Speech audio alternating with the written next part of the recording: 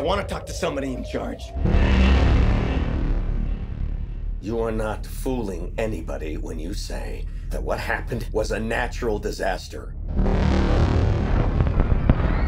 You're lying. It was not an earthquake. It wasn't a typhoon. Because what's really happening is that you're hiding something out there.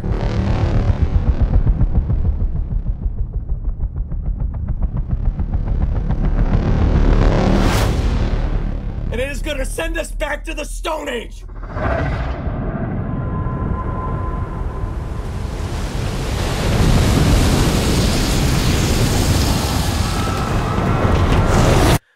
God help us all.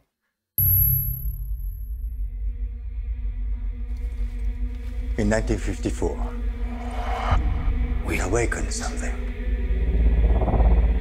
Well, there's nuclear tests in the Pacific. Not tests. They were trying to kill it.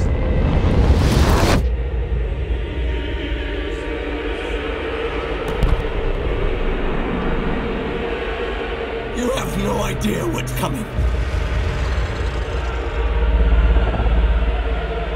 Can you kill it?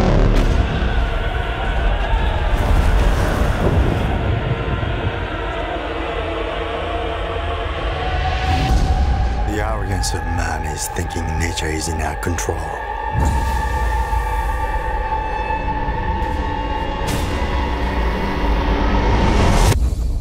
And not the other way around.